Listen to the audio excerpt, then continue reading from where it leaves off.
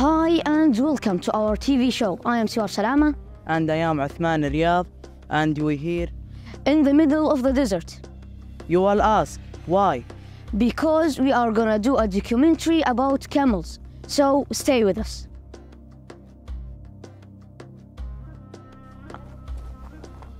Now we are here in the tent.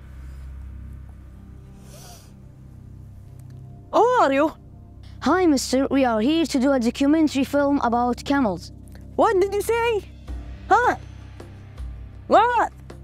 Yeah, what? Come and talk to them. Welcome. What do you need?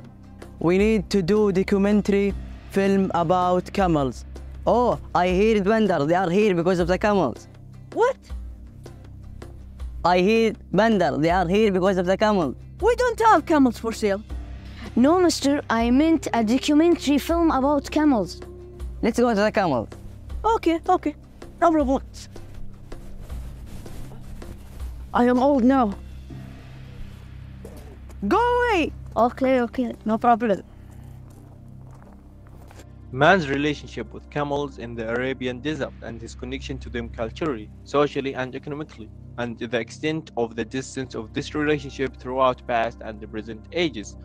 The son of the Arabian desert relied more on the data of nature, as camels were present in all their details in his daily life, and he did not dispense with camels in the past and in the present, as they became an icon of his heritage, as they were the source of his food and economy through their many products.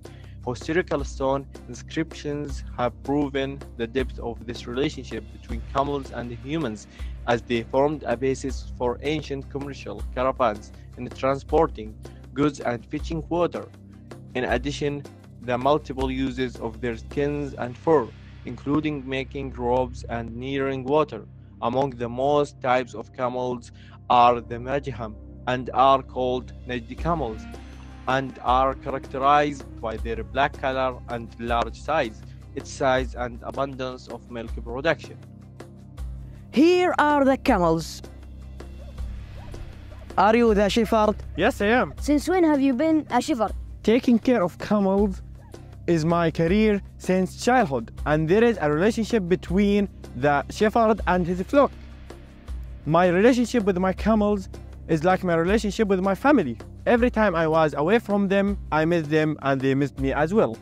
What are the things make camel different from other animal? The camels are called the ship of the desert, and they have abilities can withstand thirst and the heat of the desert. Okay, but does Allah say something in the Holy Quran about the camels? God Almighty said, Do they not contemplate on the camels how they are created? What do we get from the camels?